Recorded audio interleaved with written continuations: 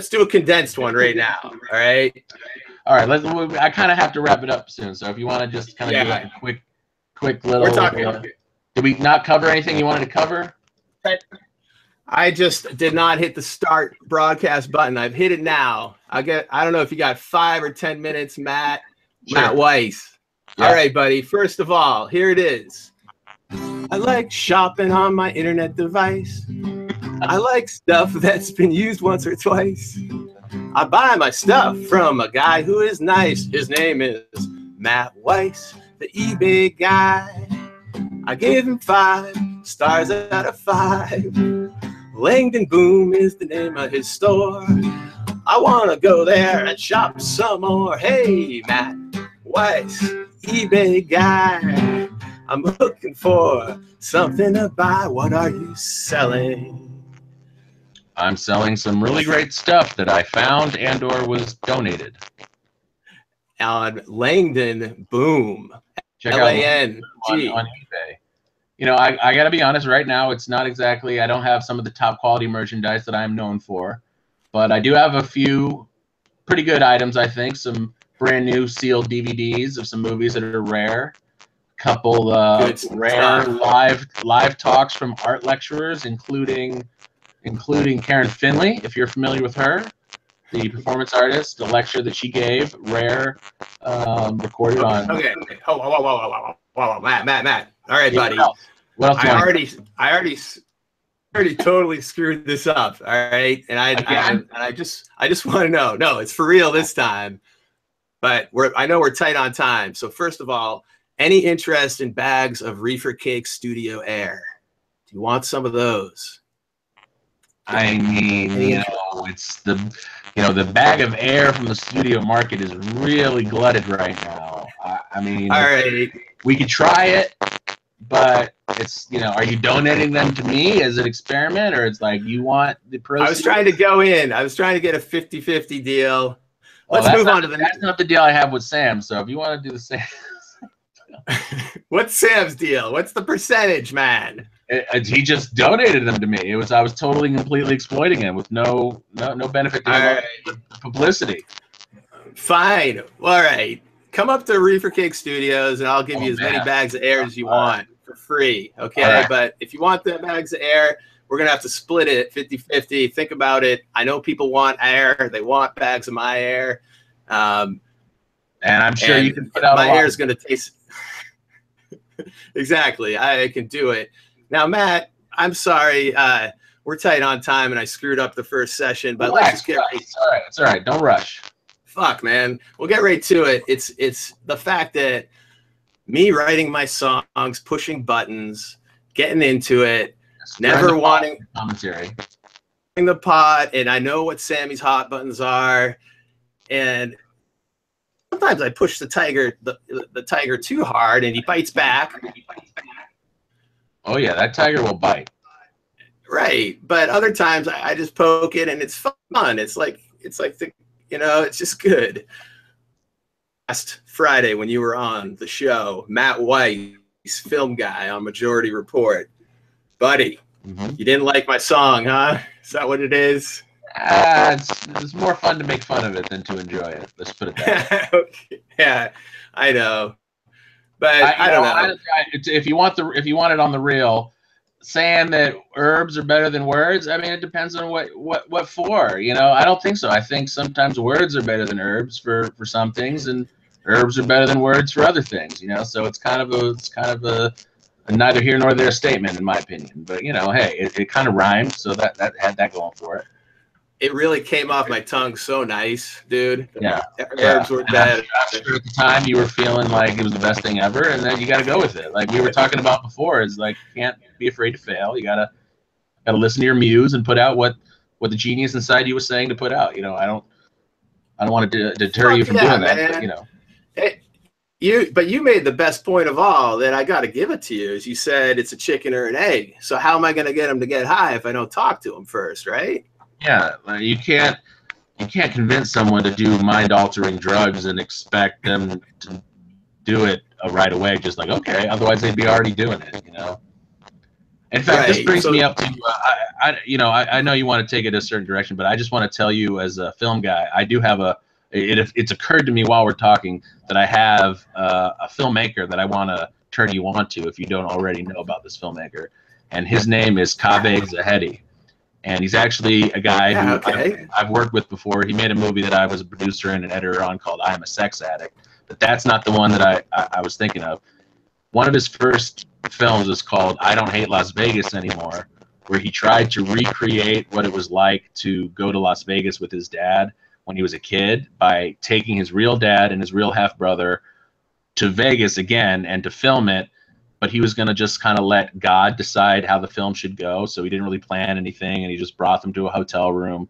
And basically, it wound up the essentially the meat of the film became him trying to convince his like 60 year old dad and 17 year old brother to do ecstasy with him so they could like bond and he, he tried so hard to get him to do it and it's kind of a, a, a working experiment for what you're talking about i mean the ecstasy is a little different i think that is a drug that maybe if you dose people they would just go like wow this is great and not freak out. But i don't know. So i suggest you go try to find that movie i don't hate las vegas anymore.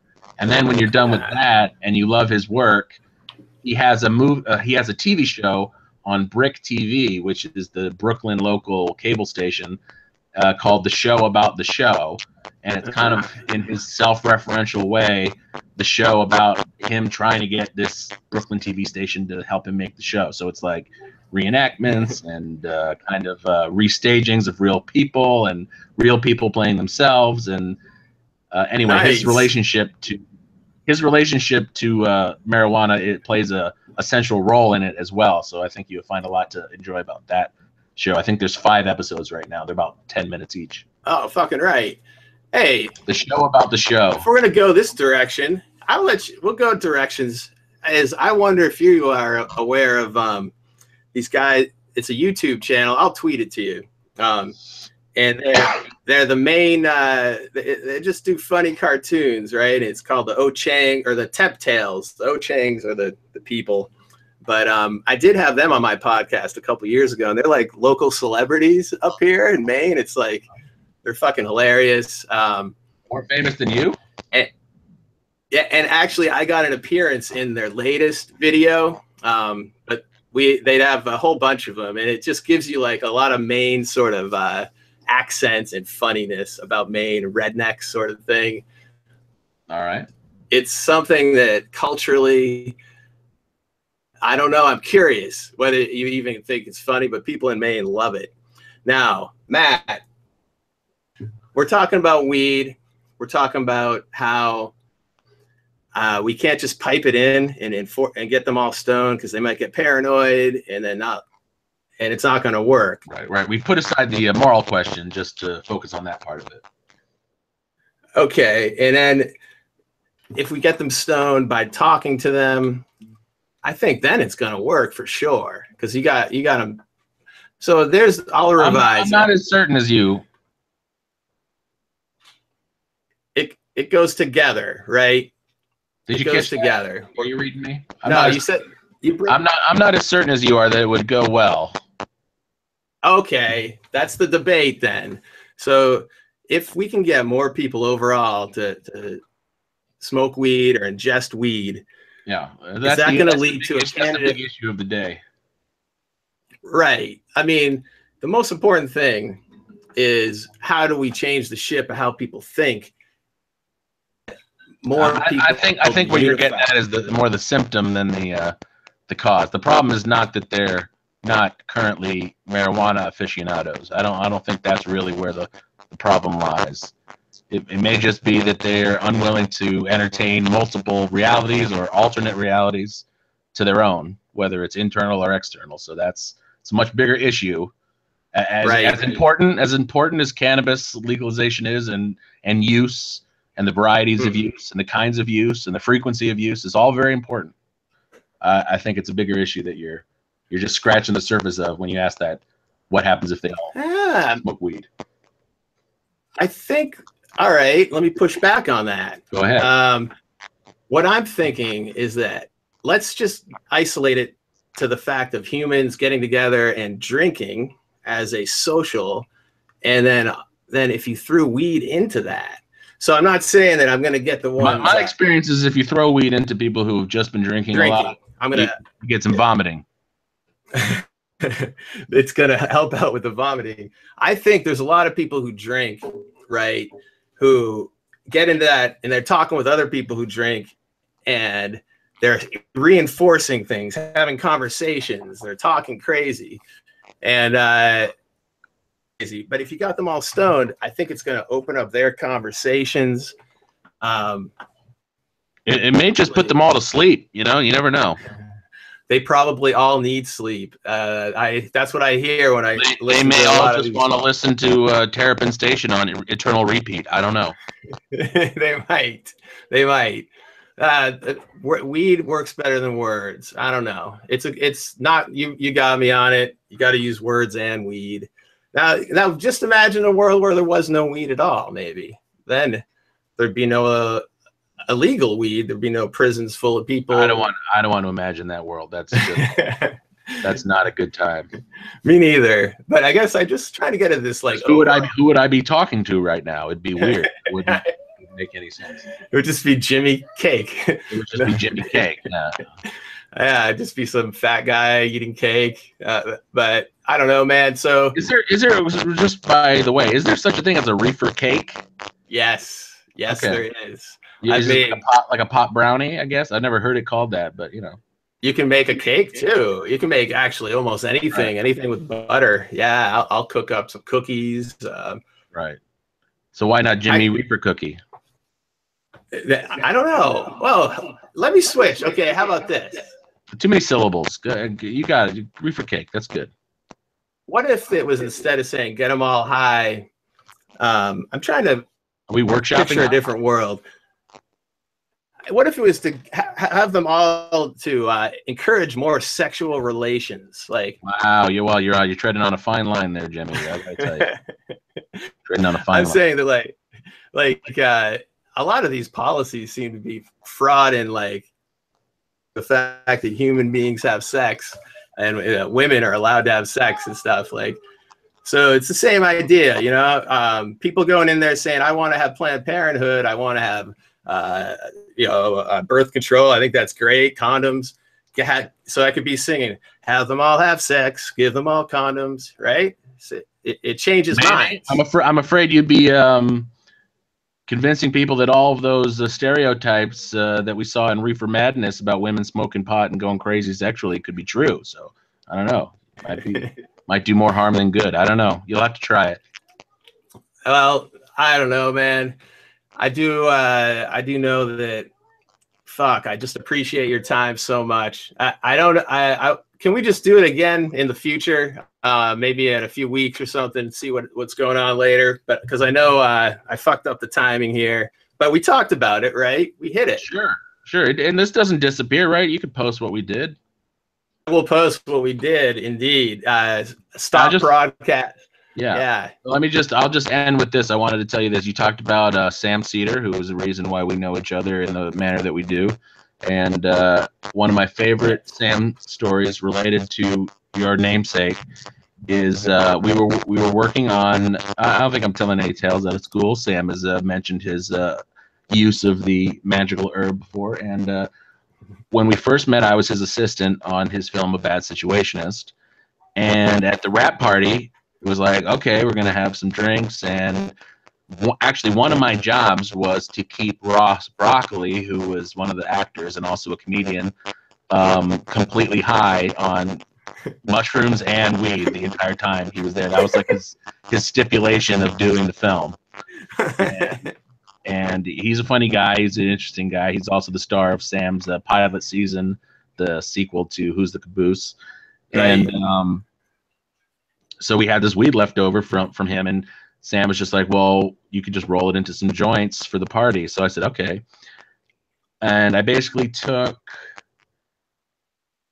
I guess I don't know. It was almost a whole eighth of weed, and just kind of like did it up and rolled it into like basically like a Cheech and Chong joint. You know what I'm talking about, right? Like just like a giant, like a giant bomb that was like re- almost a whole eighth of weed in, in, in this cone, this giant cone. I was very proud of myself too, you know.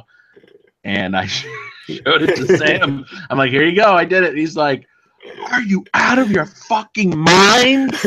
He was so livid at what, I had done with the, the job he'd given me. I had so screwed it up in his mind that I had just made this ridiculously incompetent giant joint. And he, he undo it and parcel it out into smaller packages. But I, I, said, You said to roll it into a joint. He said, I, I didn't mean one. God damn. Like, you know how Sam can be when he's really mad. It's funny.